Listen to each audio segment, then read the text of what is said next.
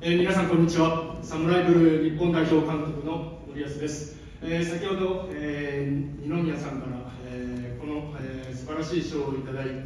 えー言葉を、あのー私にかけていただきましたが、えーありがとうと言われる、あのー言葉をいただきあのそれはあの私と我々サッカー日本代表が、えー私たちを、えー支援応援ししてくださった皆様に言うあの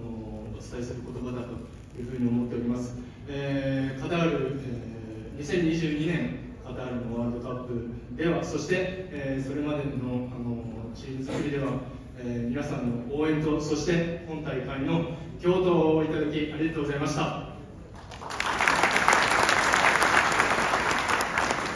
えー実はですね結果的にはあの一つ目標にはあの手が届かなかったのですが、えーサッカーを通してスポーツを通して、えー日本の国民の皆さんが喜んでいただきそして、えー日本が、えー一つの話題で一体感を持って、えー時間を過ごせたことが我々にとって何よりも、えー嬉しいことだと思っております、えーそして、えー我々の世界の中での、